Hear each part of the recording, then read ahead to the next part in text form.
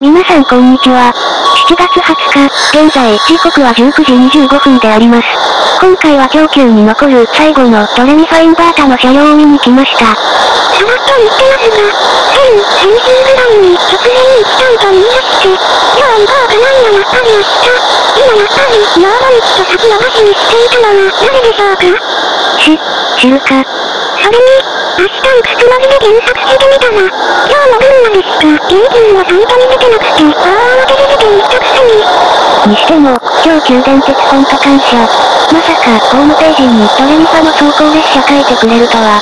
最近、マナーの悪い鉄道ファンと鉄道会社が揉めるとかよくニュース見ますけど、やっぱり鉄道会社も律儀正しいファンには優しいですね。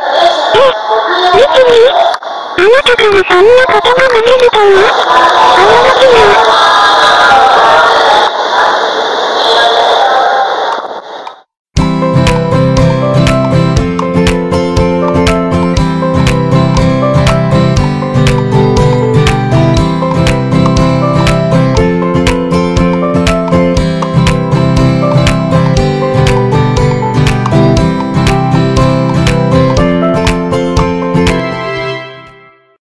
浜に、行ってみよう。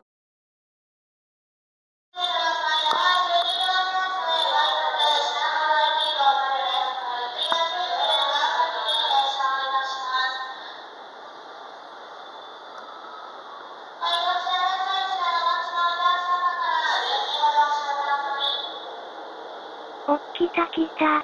つ。ってあれまさか、先頭側が普通の車両で、後ろがドレミファだったとは。いやなんで電子調べしてないんだ？とりあえず電車着いたら急いで移動だ。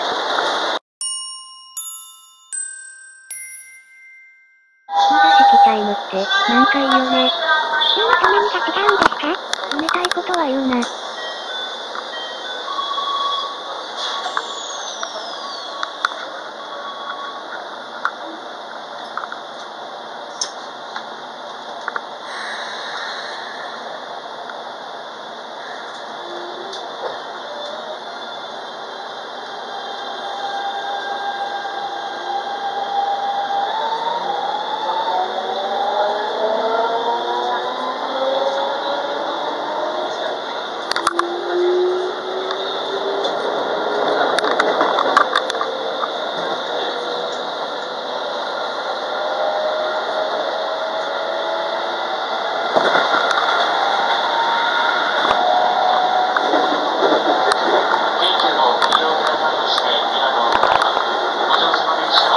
せっかくだから、車内見てくっか？オッケー。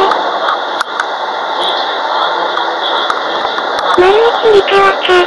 良さそうで意外とあるんだよな。こういうもの。荷物棚も、ホール式だしな。今の新型とは違うところ多いな。18年も経ってるもの。そや。動画でわかりにくいけど、化粧板もかなり今のとは違うんだよ。材質とか模様とか。それに、この豪華な椅子の色と補助席もかなり珍しいよ。新鮮だな。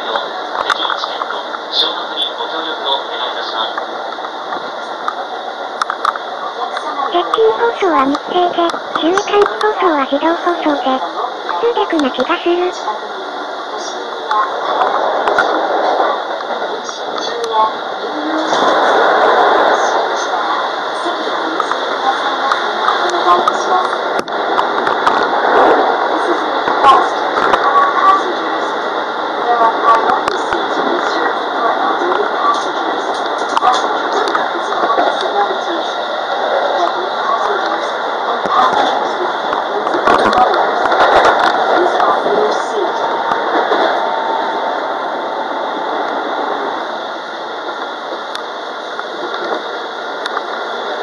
こは、神川新町だな。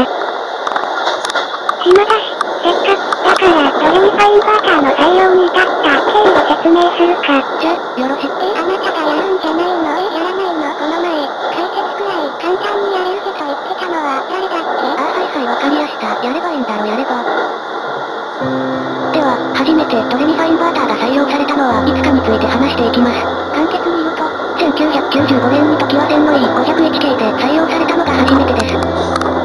ドレミファインバーターとはどういうものなのかを説明します。ドレミファインバーターはドイツのシーメンス社によって開発されました。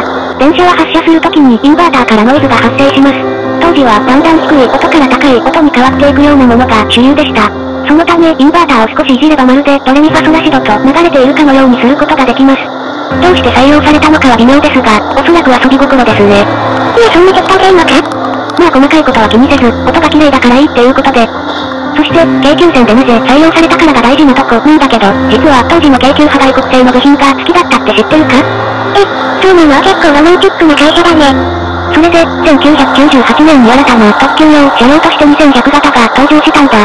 こちらは2ドアウルクロスシートだよ。この車両には、先ほど述べたような特徴が顕著に現れているんだ。例えば座席は、ノルウェーとスウェーデンの会社の座席が採用されているんだ。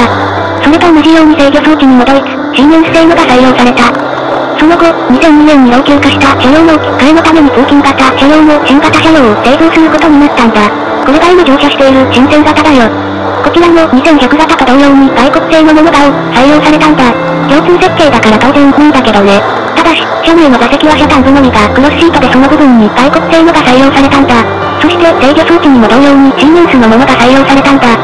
ただし、音は似ているけど実は違うんだ。その理由は、2100型には低パターンオフサイリスタ、新線型には絶縁ゲートハイボーラトランジスタが採用されているからなんだ。あのー、かっこいいこと言ってますが、それってどういう仕組みなんですかまさかは分かってねえねえなんてことないですよね。え、いや、それは、その、って、なわけで解説は以上になります。いやー、結構時間経ったな。そろそろ品川に着くかな何をバカなこと言ってるんですが、まだ京急川崎にも着いてませんよ。ふえ、まだ一駅も止まってないのかよ。疲れたな。次の駅で降りようかな。何を言ってるんですか？品川まで乗ると言ったのは誰でしょうか？言ったからにはちゃんと乗りましょうね。はい、はい、わかりました。乗りますから、乗ります。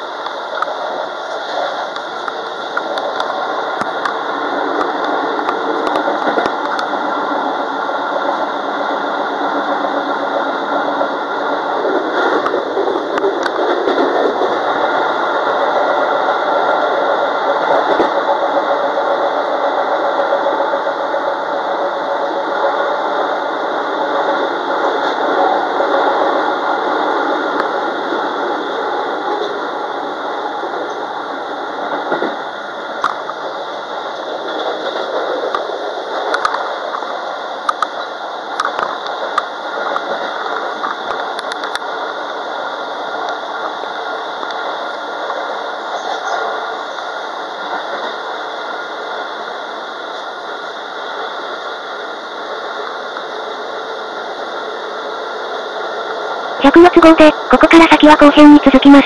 後編でも、今日9戦に関わる豆知識を話しながら終点品川駅まで乗車していきます。ご視聴ありがとうございました。